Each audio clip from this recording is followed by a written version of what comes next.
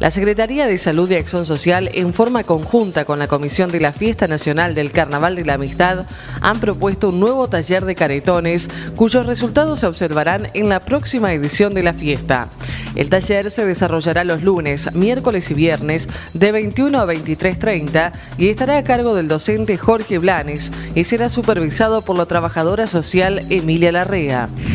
Eh, a través de una reunión que tuvimos con el presidente de la Comisión Directiva de la Fiesta Nacional del Carnaval de la Amistad y su equipo de trabajo, con una propuesta que diferente para la próxima edición de nuestra fiesta popular,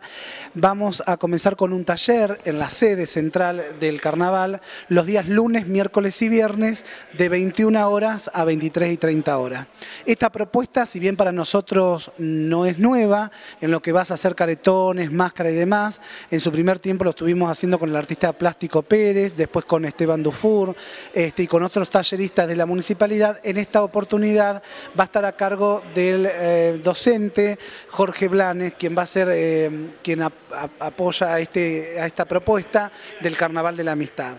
Eh, nosotros vamos a dar a través del municipio y de la Secretaría de Salud todos los recursos que necesitan, tanto la pintura, los materiales que van a, hacer para hacer todo lo que es máscaras, caretones, el objetivo de esta propuesta es eh, marcar a los jóvenes de Maipú, tanto del programa Envión como aquellos que se quieran acercar, sabiendo que en la Sociedad de Fomento de Villa Italia se está armando una nueva comparsa, golondrinas también están invitados a esta propuesta. Así que bueno, todos aquellos jóvenes de 17, 18 años